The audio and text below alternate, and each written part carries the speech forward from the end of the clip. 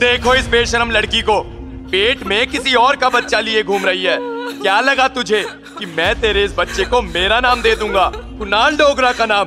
पता नहीं किस गटर का कीड़ा है। कुणाल प्लीज़ ऐसा मत बोलो। तुम मेरे पति हो और ये बच्चा भी तुम्हारा है। भगवान के लिए मुझे अकेले मत छोड़ो।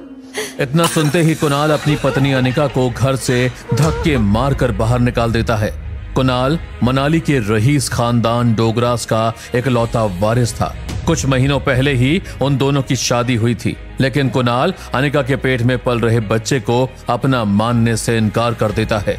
अनिका रोती बिलखती अपने मायके जाती है जहाँ उसकी फैमिली ने भी उसे एक्सेप्ट नहीं किया। मुझे तो पता ही था कि बेटी के रूप में बदनामी पैदा हुई थी हमारे घर। तुझे तभी मार देना चाहिए था। अब निकल जा इस घर से वरना तुझे और तेरे बच्चे दोनों को मार दूँगा मैं।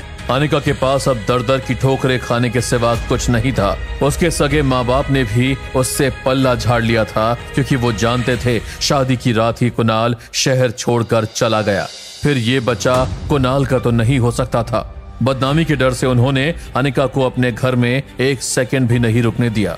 वहीं अनिका मनाली से दूर एक दूसरे शहर जा पहुँची, जहाँ उसने हॉस्टल में रहकर अपना गुजारा किया। तभी उसकी मुलाकात एक लड़के से होती है, जो कि उसका डॉक्टर भी होता है। और कुछ महीनों बाद अनिका की डिलीवरी भी करता है। छह साल बीत चुके हैं। एक बार भी कुणाल अपनी बेटी से मिलने तक नहीं आया। पता नहीं किस बात की सजा दे रहा है मुझे।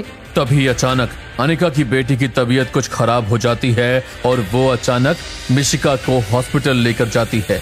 वहाँ उसी डॉक्टर को देख अनिका को राहत की सांस आती है। घबराइए मत अनिका। बस वायरल फीवर हुआ है बेटी को। ये जल्दी ठीक हो जाएगी। और इसका भाई कैसा है? भाई शायद आपको कोई गलत फहमी हुई है डॉक्टर। मिशिका मेरी इकलौती बेटी है। इसका कोई भाई नहीं है। ये ये आप क्या बोल रही हैं? अनिका अपने जुड़वा बच्चों को जन्म दिया था जिसमें एक बेटी और एक बेटा था। ये सुनते ही अनिका के होश उड़ जाते हैं। अगर अनिका ने जुड़वा बच्चों को जन्म दिया था तो उसके बेटे को कौन ले गया था? ये कैसे मुमकिन था? आखिर कैसे ढूंढे कि अनिका अपने बेटे को बिना किसी पिक्चर के?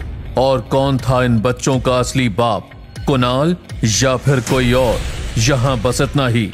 आगे जानने के लिए अभी डाउनलोड करें पॉकेट एफ़ एम ऐप।